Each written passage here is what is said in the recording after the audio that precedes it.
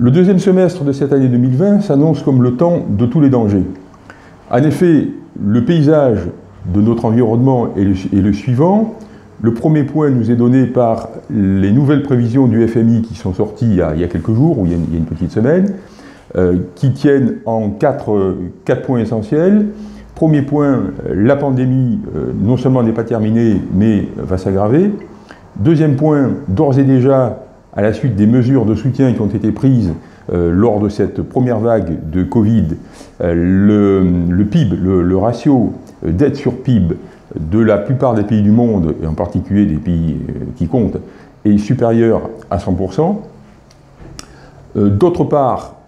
on s'attend, enfin, le FMI s'attend à ce que la situation ne soit pas revenue à la, normale en 2021, ce qui va contre tous les espoirs euh, officielle, en tout cas de, la part des, gouvernements des, grands pays, euh, qui tablent sur un retour à la normale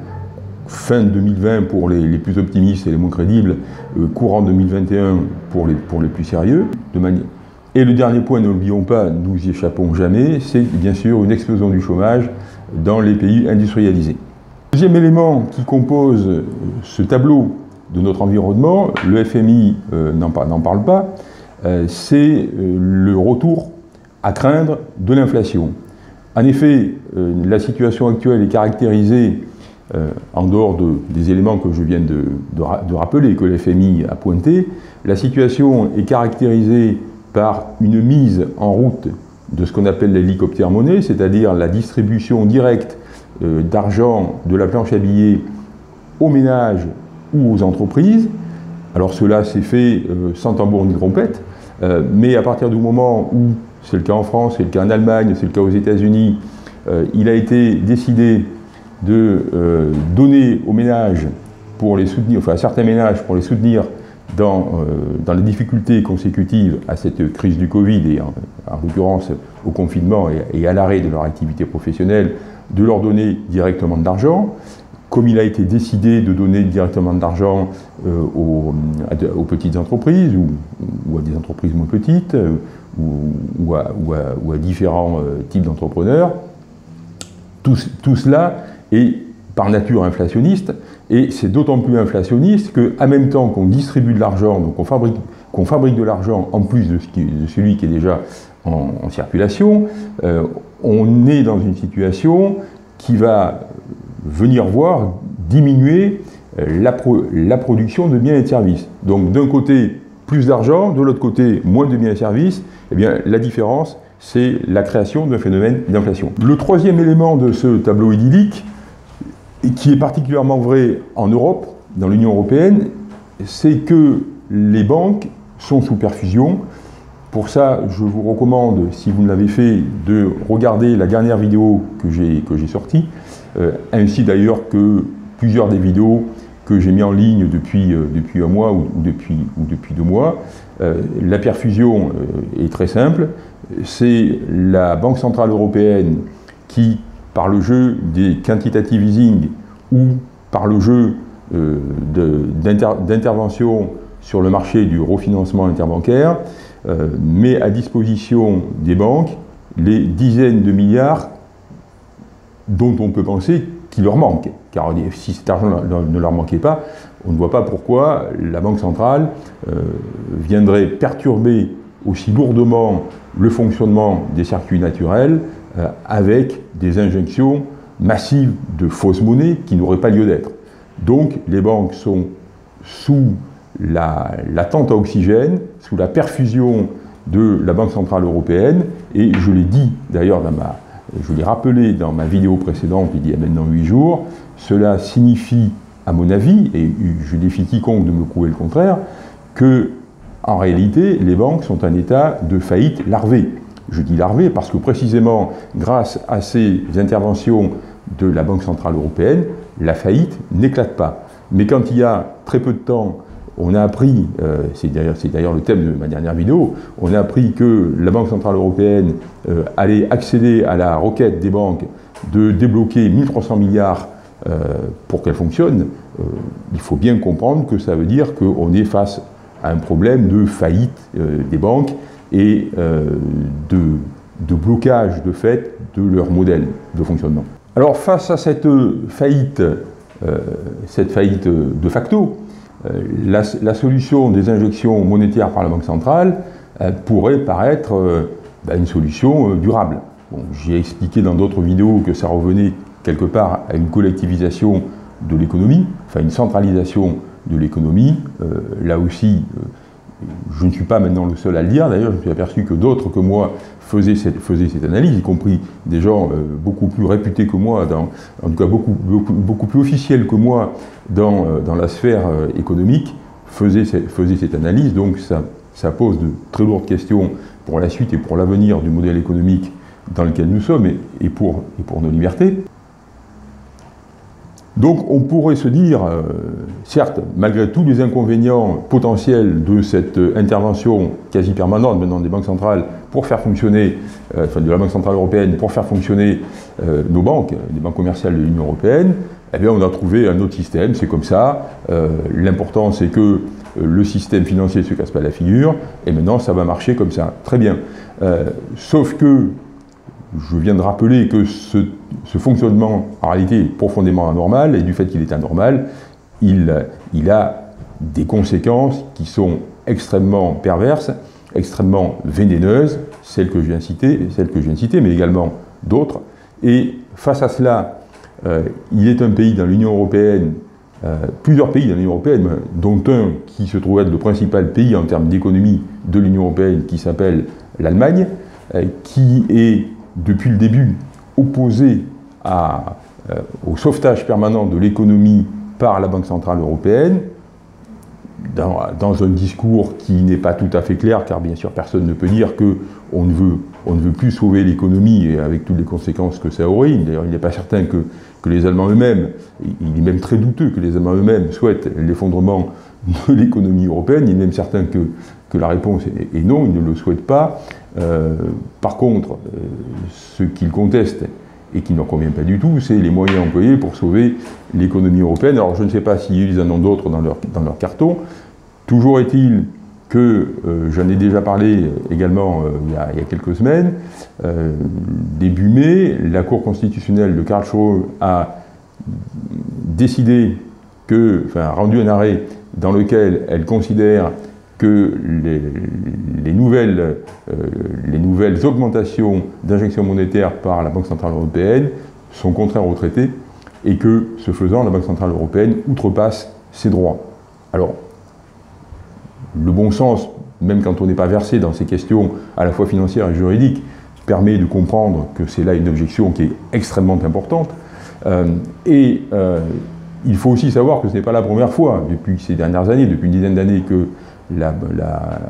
Cour de Karlsruhe, je crois que c'est la troisième fois que la Cour de Karlsruhe émet des réserves, mais cette fois elle a été beaucoup plus loin, puisqu'elle a sommé la Banque Centrale Européenne de prouver sous trois mois, sous trois mois, c'est-à-dire le 4 août, maintenant c'est le 4 août, c'est-à-dire dans euh, depuis deux mois, euh, de, prouver que les, les mesures qu'elle a prises en termes de quantitative easing sont proportionnées à la situation, c'est-à-dire que ces mesures sont compatibles avec les traités, en l'occurrence avec la mission de la Banque Centrale Européenne. À mon humble avis, ça va être difficile d'arriver à cette, démonstration, euh, puisque naturellement, tout le monde voit bien que cela, cela n'a plus grand-chose à voir avec la mission de la Banque Centrale Européenne, qui, je vous le rappelle, est de préserver la stabilité monétaire. Donc à ce tableau qui euh, prévaut euh, sur l'ensemble de l'Union européenne, s'ajoute pour un certain nombre de pays, dont le nôtre, un risque de déstabilisation de la société. Dans le cas de la France, nous avons eu des manifestations récentes de cette déstabilisation de la société qui est à l'œuvre à travers la récupération qui a été faite de l'affaire Floyd euh, par ben, tous ceux qui, en France, d'adversaires euh, pour pas dire d'ennemis euh, à la fois du pays et à la fois de la société, euh, qui donc ont récupéré cette affaire-là pour en faire, à travers le nom de la famille Traoré, une, une, revendication à la fois identitaire et, communitariste. et ce qui est grave, ce n'est pas cela, puisque dans, toute société, il y a toujours des minorités qui sont en opposition violente avec la majorité, avec l'État. Ce qui est grave, euh, de, même, de même que dans l'autre affaire, qui est l'affaire de Dijon. Dijon, je pense que vous avez tous, tous ça en tête, on a pu assister euh, à des, euh, affrontements dans lesquels ont surgi des Kalachnikov entre, d'une part, des Tchétchènes, donc probablement pas, pas, de nationalité française, d'autre part, d'individus qui sont marginaux dans la société en l'occurrence ce sont des trafiquants, semble-t-il, euh, des trafiquants de stupéfiants. Euh, ce qui est grave là encore, c'est que finalement, comme dans l'affaire euh, Floyd Traoré, c'est que le gouvernement a été totalement,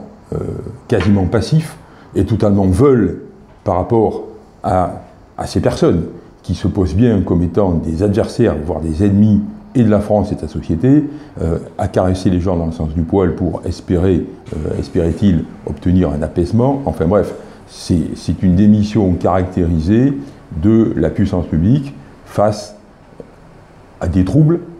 pour lesquels sa première mission est de résister ce qu'elle n'a pas fait. Bonjour, c'est Pierre Maumont. Content de vous retrouver après euh, un peu plus d'une semaine d'absence. Dans cette vidéo, je pose la question qui est celle de la meilleure protection face au contexte que je viens de décrire et dans lequel nous entrons, à savoir, vaut-il mieux posséder de l'or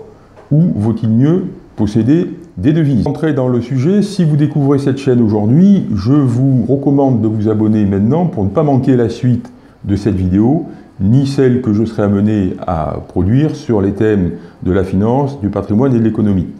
Vous pouvez le faire à partir de l'icône qui est euh, en bas à droite, en passant la souris, la cloche apparaîtra, ou bien sûr euh, à partir euh, d'un des liens qu'il y a dans le menu déroulant, il faut cliquer sur le plus, PLUS majuscule, et là vous trouverez le lien pour vous abonner